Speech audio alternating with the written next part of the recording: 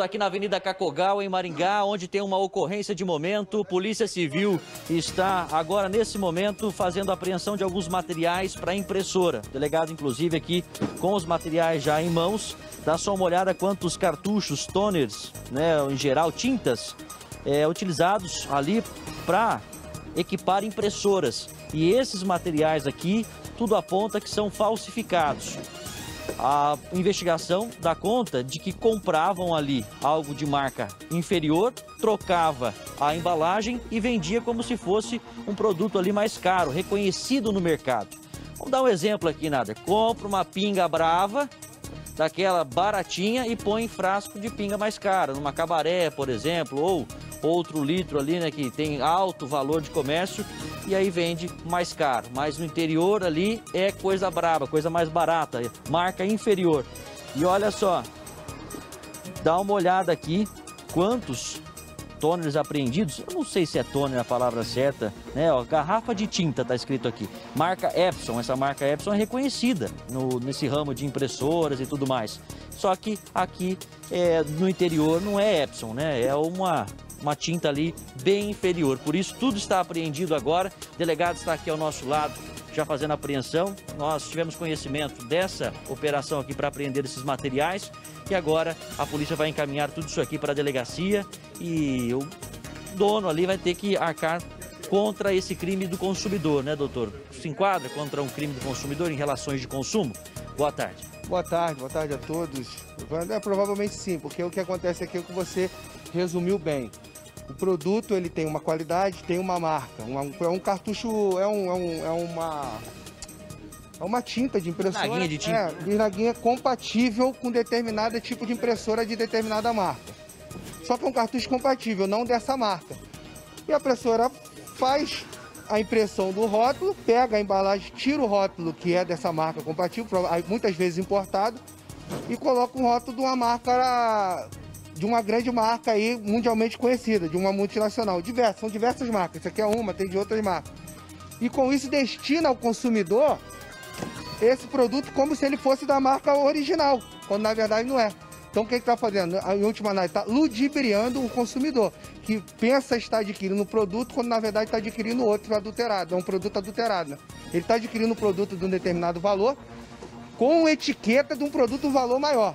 E ainda assim ele causa prejuízo à marca também, porque ele vende isso pela internet e outras plataformas com valor abaixo do produto original também. Então tá enganando a marca e enganando o consumidor, que pensa que tá. É aquele, comprar gato por lebre, né? É, aqui é aquele ditado que a gente tava falando aqui, doutor, em relação às bebidas que são mais conhecidas. Compra um corotinho e põe numa garrafa de Grey Goose. Ex exatamente isso. É como se fosse. Engana, né? É.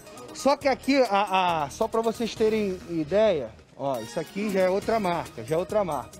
A adulteração aqui não é no conteúdo. O conteúdo é um conteúdo, é uma tinta que é compatível com essa impressora. Só que não é da marca da impressora. Não sei se vocês querem dizer. É um cartucho compatível com essa marca. Só que ele não é da marca. Aí o que, que a pessoa faz? Ela arranca o a etiqueta dizendo que é compatível e coloca uma etiqueta como se fosse original da marca. Então, o, o, não é o conteúdo que está adulterado. A tinta é uma tinta compatível, pode, pode ou não danificar a impressora, pode ou não servir. Só que ela é mais barata. Ela não é da qualidade que é produzida pela própria marca, pessoa. E aí o consumidor, quando adquire isso aqui, ele pensa que está adquirindo o produto original, quando na verdade não é. Então a adulteração é com relação às características da origem, ele, ludibri, a, a, ele é, é engana o consumidor com relação à rotulagem da marca desse cartucho. O consumidor, porque se você for adquirir esse produto, com esse nome, você acha que é original. Você acha que está adquirindo a marca, quando na verdade o rótulo foi modificado. Tudo apreendido?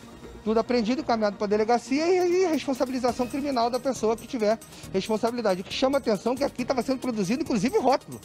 Geralmente você pega o, os locais, como pegamos da última vez, o, o local onde ele simplesmente ou faz só a rotulagem, só a etiqueta, e, e mantém depósito para venda. Aqui não, aqui ele fazia o serviço completo, fazia, produzia o rótulo, rotulava, tinha depósito para venda e distribuía. Então era o serviço completo, era fábrica e distribuidora. O que ele responde, delegado?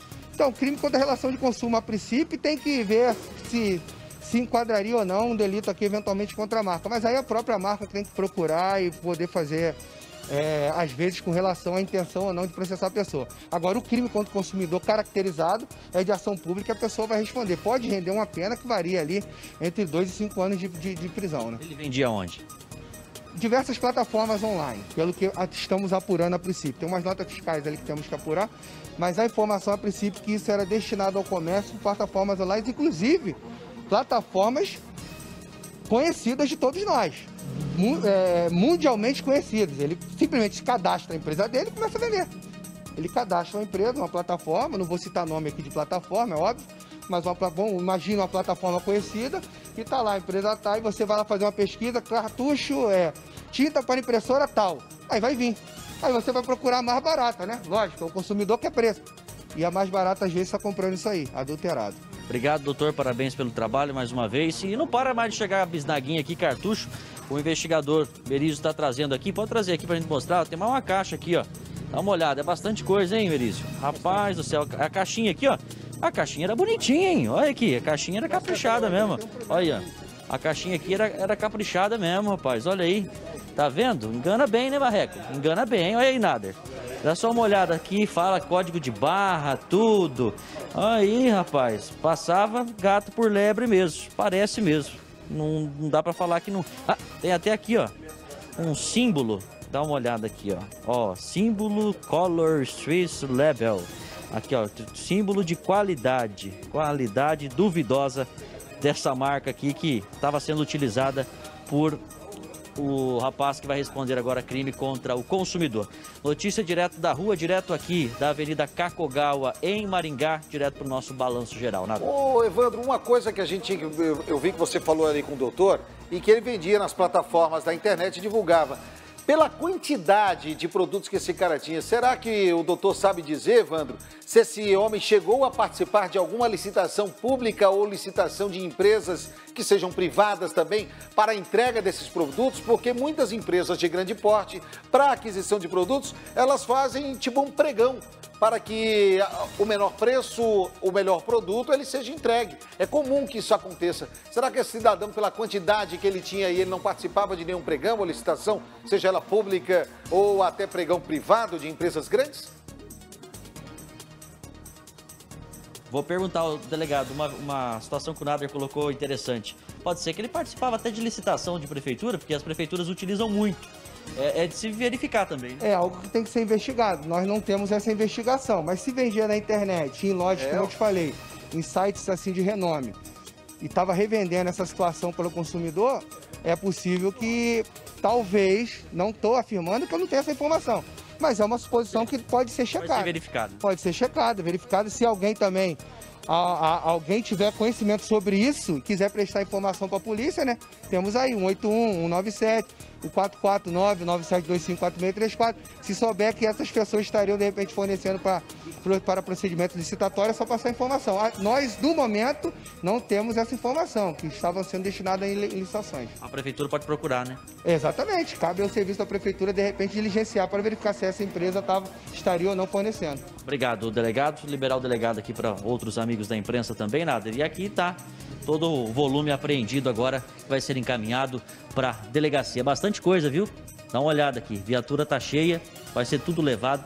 Muito provavelmente vai ser descartado esse material aqui que a embalagem era adulterada, nada. Não, e o Elvis está mostrando pra gente, nosso querido Marreco, que está de volta das férias, depois de quase um mês e, e 25 dias de folga, juntou com parecia funcionário público, né, que pega aquela licença prêmio, licença não remunerada e mais um monte. Tinha tantos dias que eu nunca vi demorar tanta férias nosso querido Elvis, né? O Elvis está mostrando aqui, Evandro, do lado de cá, esses frascos. Elvis, eu não sei se é impressão minha, eu não sei se eu estou vendo pela imagem, esses frascos parecem estarem vazios.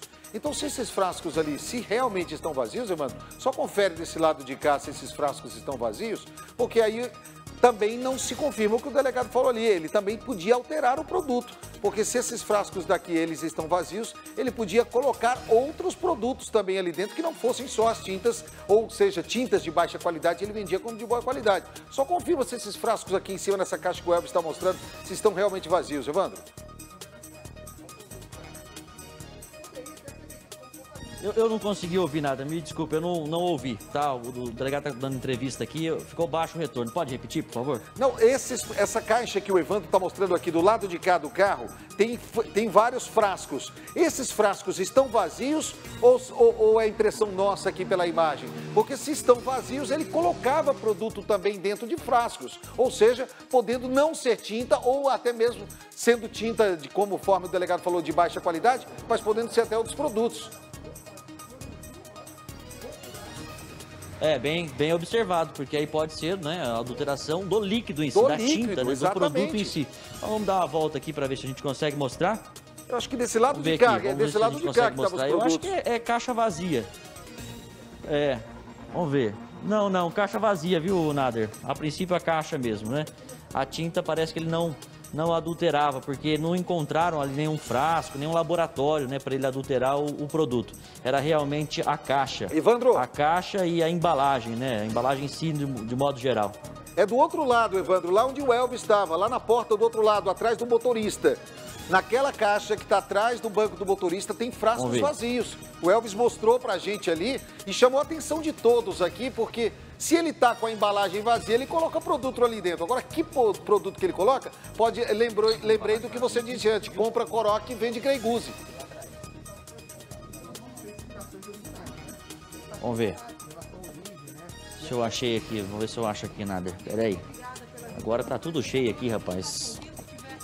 Não, não encontrei aqui, mas vou dar esse alô pro delegado aqui pra gente verificar também. Não, tranquilo, Mas tranquilo. A, a princípio não, não encontrei.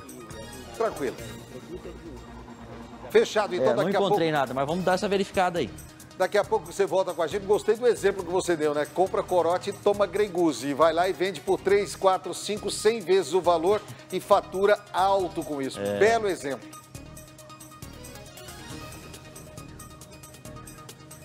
É isso, é justamente aí fatura em cima da marca, né? No nome que é conhecido ali por todos, fatura em cima ali da diferença de, de mercado, né? De um que é bem mais acessível e vende ali como se fosse algo de primeira, mas fazia isso, né? Pelo menos agora tá tudo apreendido.